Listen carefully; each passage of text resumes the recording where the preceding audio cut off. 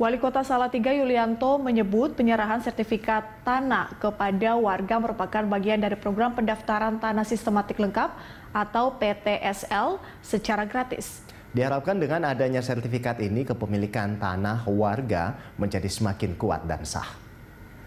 Ini adalah program yang sangat membantu masyarakat dan utamanya juga masyarakat Kauman Kidul yang sudah merelakan tanahnya untuk ditata ulang berkaitan dengan konsolidasi tanah dan tentu, eh, dan lanjutannya adalah pemerintah nanti membangun sarana prasarana infrastruktur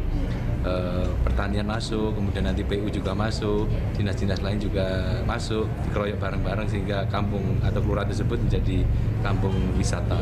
untuk kepentingan masyarakat